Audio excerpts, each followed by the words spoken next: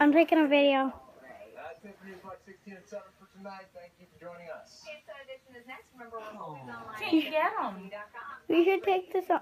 We should put this on YouTube. Can you get them? What's going on? Hi folks, Joe Snedeker here in the perfect place to remind you that WNEP, Pepsi, and PDQ's Feed a Friend campaign is underway. Your generosity will help provide much needed food for less fortunate families in your area for the holiday season and beyond. All you have to do is donate a few non-perishables like these. Buy a prepackaged bag like this. Or drop extra change in the canister. It all adds up. Working together, we can help feed our friends. Pennsylvania Outdoor Works going coyote crazy again.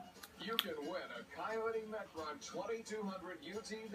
Are they trying to rip it? I don't know what he's trying to do. Just by watching Pennsylvania Stand Outdoor Life. Here's how to enter.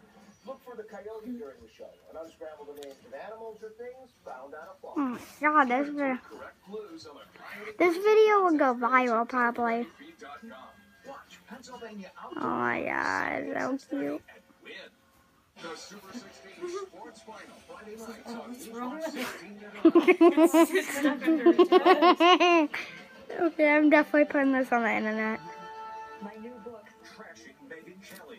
Our internet pros purposely giving her new book bad reviews. And inside the new center of the world. What's really going on at Trump Tower? What's it like living there? It's a nice place. Then, are hotel and motel employees spying on you? There's a hidden camera right there. Voyeurs watching your every move. Perverts. Invading your privacy in hotel rooms right there. How to make sure you're not the victim of a motel peeping Tom. How many people were you able to spy on? Thousands. And remember her?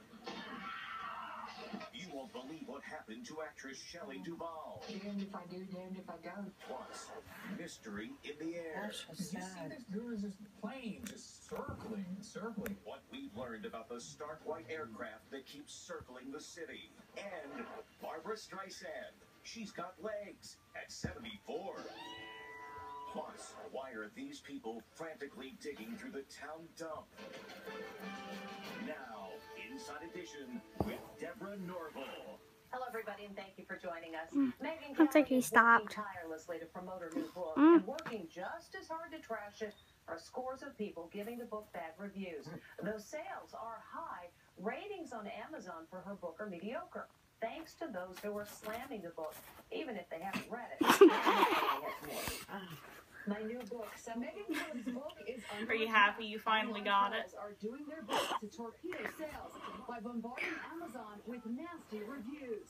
Look at Megyn's Amazon page. Okay, he stopped. reviews